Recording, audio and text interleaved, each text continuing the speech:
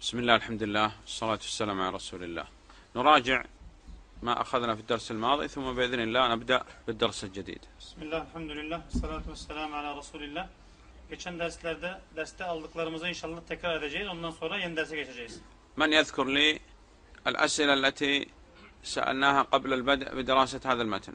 Bu metne okumaya başlamadan önce zikrettiğimiz bu dört soruyu, bize kim hatırlatacak? السؤال الأول. Birinci soru neydi? لماذا ندرس التوحيد؟ السؤال الثاني. لماذا اخترنا دراسة هذا المتن أي متن القواعد الأربع؟ الثالث. محتوى أو فهرست هذا المتن. نعم. قلنا يحتوي على ثلاثة أقسام Dedik ki bu metin dört kısma ayrılıyor. المقدمة وهذه وفي هذه المقدمة عنوان السعادة Birinci mukaddime, bu mukaddimede de saadetin ünvanından, adresinden bahsediliyor. لماذا ندرس التوحيد İkincisi neden tevhid okuyoruz? القواعد الأربع üçüncüsü de dört kaide. السؤال الرابع Dördüncü soru neydi? Bu kitabın e, sebebi telif. سبب التأليف وقلنا سبب التأليف هو أن المؤلف رحمه الله تعالى أراد بهذه القواعد أن ترد على الشبه التي يأتي بها أهل الشرك في زماننا Dedik ki bunun telif sebebiyle alakalı İmam Müellif Rahimahullah bu kitapla zamanındaki şirk ehlinin şüphelerine reddiye vermek, cevap vermek istiyor. Bununla onu kastediyor. كيف يكون الرد على الشبه Şüphelere reddetmek nasıl olur? نعم رد مجمل ورد مفصل Mücmel olarak, genel olarak ve tafsilatlı olarak. الرد المجمل قلنا يعرف كل موحد بشرط أن يرجع إلى الأمور التي ذكرت في الكتاب والسنة وذكرها أئمة أهل السنة والجماعة Mücmel olarak olan reddi ehli sünnetten herkes eğer imamların zikrettiği usulleri, kaideleri, ehli sünnet ve cemaatin kurallarını biliyorsa herkes yap- yapabilir. والمفصل يحتاج إلى تفصيل وذكر أدلة وردود هذا يكون للعلماء Tafsili olan reddiye ise bazı delillerin zikredilmesine, şüphelerin izah edil- izah edilmesine bağlıdır ki bunu alimler yaparlar. هل يمكن أن نسمع لكلام أهل الباطل أو نقرأ لمؤلفاتهم Batıl ehlinin sözlerini dinlememiz, yarhamdülillah, onların müellif tel- ya- yazdıkları kitapları okumamız bunun mü- mümkün olan bir şey mi? لا Mümkün değil. طيب هذا الكتاب قلنا هو kel muhtasar kitab keşfe şubuhat. Dedik ki bu kitap keşfe şubuhatın sanki bir muhtasarı gibidir, bir özeti gibidir. Kema enel usul thalâthe tekriben kel muhtasar li kitab tevhid. Aynı şekilde yaklaşık, yaklaşık olarak usulü selasenin de kitab-ı tevhidin bir muhtasarı, bir özeti olması gibi. Hal lana en nukaddim kitab keşfe şubuhat ala el kavaid el arba. Peki keşfe şubuhat risalesini kavaid el önce okusak böyle bir şey yapabilir miyiz? Kulna la. Labud min el rucu' ilel ulema. Dedik ki alimlere dönmemiz lazım.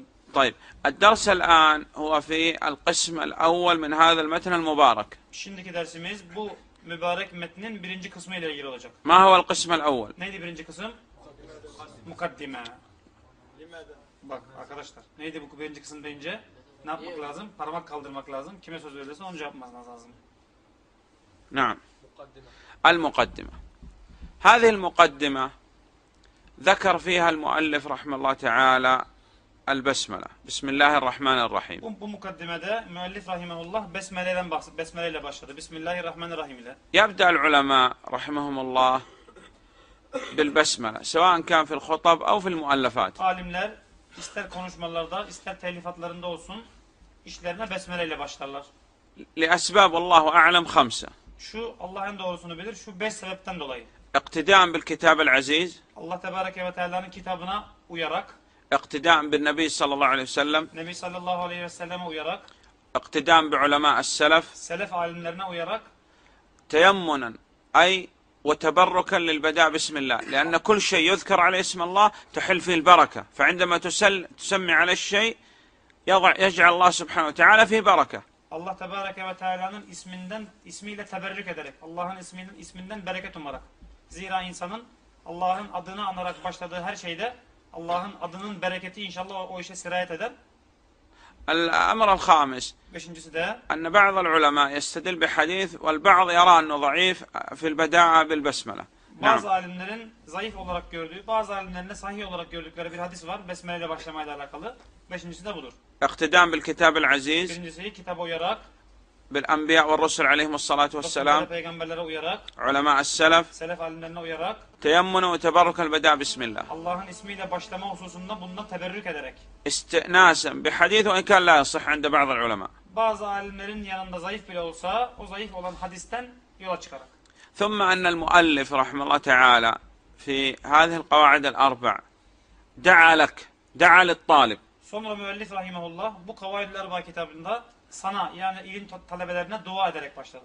ونحن نعرف أن الطالب هو الذي يدعو للشيخ Aslında biz biliyoruz ki öğrencinin şeyhe dua etmesi lazım. وهذا فيه أن المؤلف رحمه الله تعالى يرغب أن كل خير يلحق بك Bu da müellif rahimahullah'ın her türlü hayrın sana ulaşmasına olan rağbetini gösterir. قال أن يتولاك في الدنيا والآخرة أي أن تكون من أولياء الله diyor ki Allah Tebareke ve Teala seni dünyada ve ahirette dost edinsin. Yani dünyada ve ahiretinde Allah'ın dostu ol. Allah senin dostun olsun. Men hum evliyaullah? Allah'ın dostları kimlerdir? Evliyaullah humul lezine zekerhum Allah Subhanahu ve Teala fi kavlih Allah Tebareke ve Teala'nın şu sözünde zikrettiği kimselerdir Evliyaullah. Ala inne evliya Allah la havfun aleyhim ve lehum yahzanun. Dikkat edin Allah'ın dostlarına bir korku yoktur. Onlar mahzun da olmayacaklardır. Thumma beyyene Allah Subhanahu ve Teala men hum bi kavlih. Sonra Allah Tebareke ve Teala onların kimler olduğunu şu sözüyle beyan etmiştir. Ellezine amenu ve kanu yettekun. Onlar iman edip takvalı olan kimselerdir. يعني جمعوا بين الإيمان والتقوى. يعني إيمان وتقوىنن arasını cem edip ikisini kendilerinde bulundurandır. ولهذا قال شيخ الإسلام ابن تيمية رحمه الله تعالى. شيخ الإسلام ابن تيمية رحمه الله der من كان مؤمنا تقيا. kim مؤمن ومتقي muttaki كان لله وليا. Allah'ın da velisidir.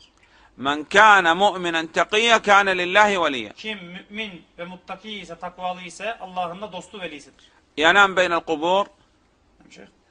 رجل ينام بين القبور Adam mesela kabirler arasında uyuyor. يشرب الخمور işte e, içki içiyor, يزني ويسرق zina ediyor, hırsızlık yapıyor. ولا يأتي بالطاعات Allah'a itaatleri yerine getirmiyor. ويأتي بالمحرمات والمنكرات والبدع Haramları, münkerleri, bidatleri işliyor. ولي هذا ولي من أولياء الله Ve Allah'ın veli- La. velilerinden bir veli olabiliyor. Hayır. هذا ولي من أولياء الشيطان Bu olsa olsa şeytanın velilerinden bir veli olur. ولا شك في ولايته Bunun veli olduğu konusunda bir şüphe yok. Veli olduğu kesin.